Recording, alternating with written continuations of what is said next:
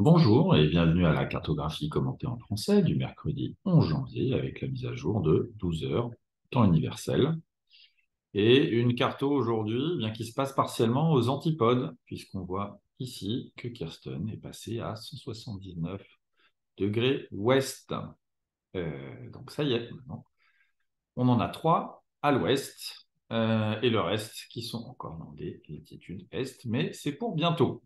Et puis on en a beaucoup hein, qui ont passé la majorité, qui ont fait euh, plus de 50% du parcours, puisque Jérémy, ici, vient de passer la barre des 50%. Donc ça y est, chaque 1000 le rapproche maintenant euh, des Sables d'Olonne, même si euh, les 1000, en ce moment, eh bien, ne s'alignent pas trop pour Jérémy. Enfin, nous sommes conscients hein, d'avoir eu des petits problèmes avec les distances annoncées quotidiennement par Yellow Brick, euh, qui sont en train d'être résolus. Alors, pas pour Jean-Luc, hein, qui lui a toujours 15 000 milles à faire euh, jusqu'au finish, alors que Simon ici, on n'a plus que 10 000. Peut-être que Simon arrivera avant lui si Jean-Luc doit faire un grand détour. Voilà. En ce qui concerne la cartographie, eh bien, on va commencer par Guy Waits, euh, tout seigneur, tout honneur. Pourquoi? Pourquoi? Ben, Simplement parce que Guy, ce matin, a encore une fois battu son record sur 7 jours avec pas loin de 1080 000. Donc euh, bravo Guy, on voit, hein, ça a été un petit peu plus dur pour lui depuis qu'il a dû euh, remonter au nord de la zone d'exclusion. Voilà, on voit ici sa petite incursion, euh, mais il, a, il accumule le bénéfice des jours précédents. Et puis Guy, en fait, eh bien, il doit rester dans les jours prochains ici le long de la zone d'exclusion pour laisser passer à son nord un anticyclone hein, qui le rattrape par l'ouest. Mais finalement, euh, ça va bien se passer pour lui puisque l'anticyclone passe bien à son nord et il aura le vent de nord-ouest euh, pour le pousser encore dans la bonne direction. Donc Guy Waits, euh, eh bien qui ne ralentit pas la cadence et euh, qu'on a eu dernièrement en vacation et qui était euh, ben, assez content de, euh, de sa performance. Voilà. Un autre qui est assez content aujourd'hui, c'est Elliot Smith. Alors Elliot, il a un petit peu ralenti hein, en direction de Fremantle, ici.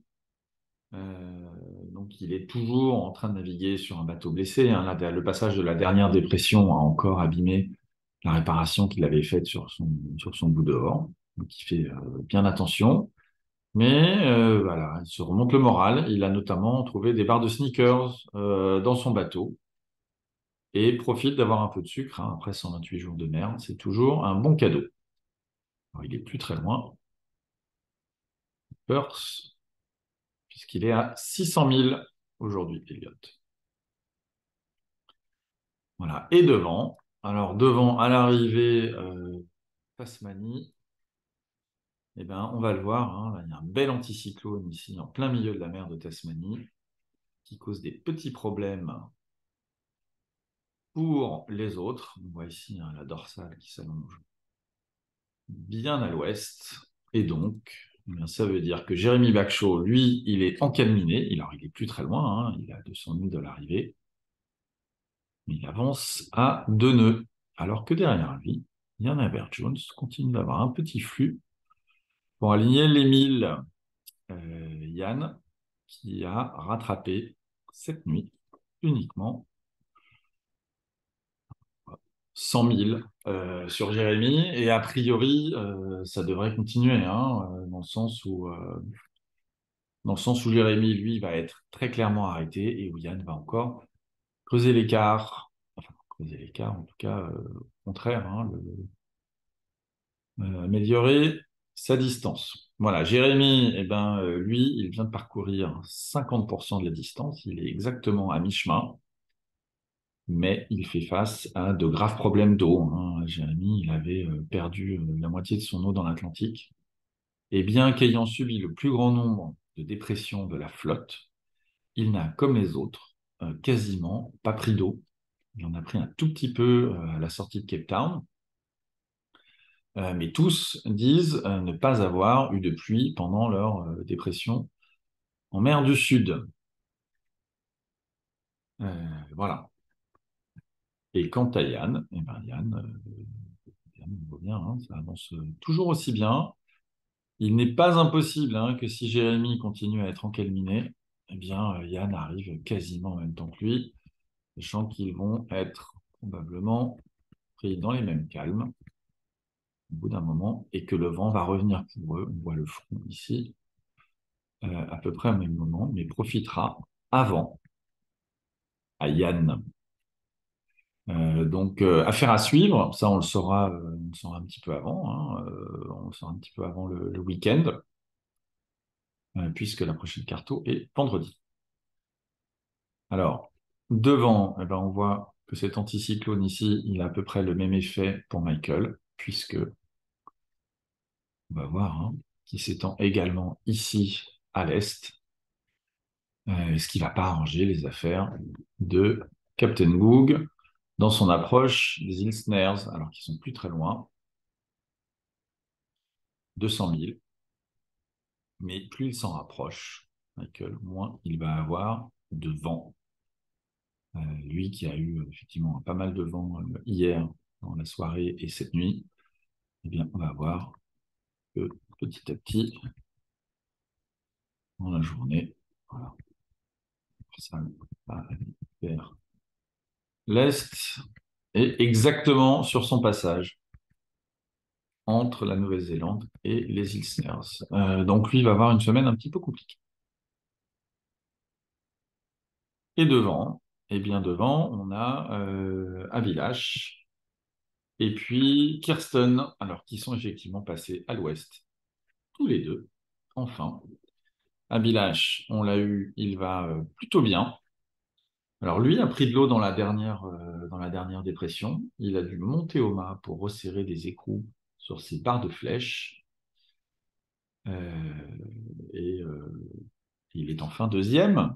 Abilash, il est repassé devant Kirsten, la dernière fois qu'il était deuxième qu'il s'était intercalé entre Kirsten et Simon Kerwen, c'était lors de l'arrivée à Cape Town.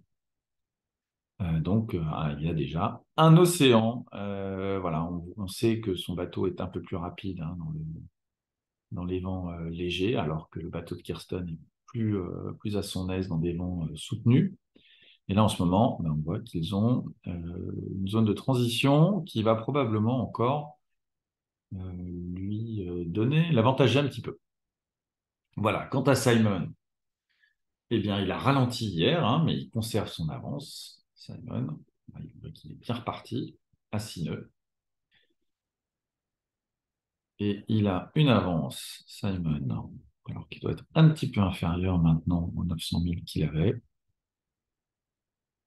Voilà, oui, alors pas vraiment. Euh, en tout cas, il a arrêté de euh, s'échapper effrontément de ses poursuivants.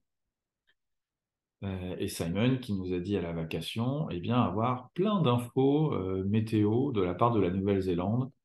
Littéralement, peut-être un peu trop d'infos, un peu trop détaillées, ce qui le force vraiment à chercher l'info pour, eh bien, pour l'interpréter. Euh, en tout cas, il sait qu'il a du vent. Euh, et il sait qu'il est en tête. Voilà. Alors, qu'est-ce qui va se passer euh, en tête de la course dans les prochains jours? Eh bien, jusqu'à la prochaine météo. La prochaine carte commentée, c'est que Yann va encore réduire son écart sur Jérémy, puisque Jérémy est vraiment tanké et ça ne va pas s'arranger pour lui dans les prochaines 48 heures. Alors que pour Yann, il devrait encore euh, probablement reprendre 100 000 euh, d'ici la fin de semaine, ce qui réduirait son, son écart avec Jérémy à moins de 200 000.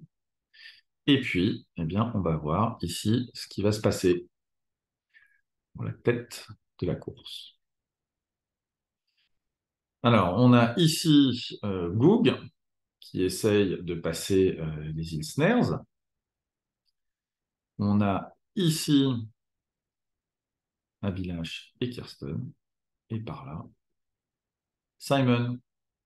Et on va voir que l'anticyclone dans les prochains jours, bah, il va rester ici en mer de Tasmanie, hein, il va s'allonger, ce qui ne fait pas les affaires de Google, mais que ici, on voit que cette euh, pression s'en va par l'est, alors qu'ils ont au sud du vent frais qui arrive et qui va les pousser. Donc, euh, ça, va mieux se passer pour Kirsten et Abilash. Euh, Kirsten, dans son, dans son dernier rappel, nous avait dit être un petit peu, un petit peu dépité du retard qu'elle prenait sur Simon. Et ça devrait aller mieux dans les jours qui viennent. Tandis que ici, on voit très bien arriver en fin de semaine cette dépression assez creuse qui va ramener du vent et qui va aider Yann à recoller à Jérémy.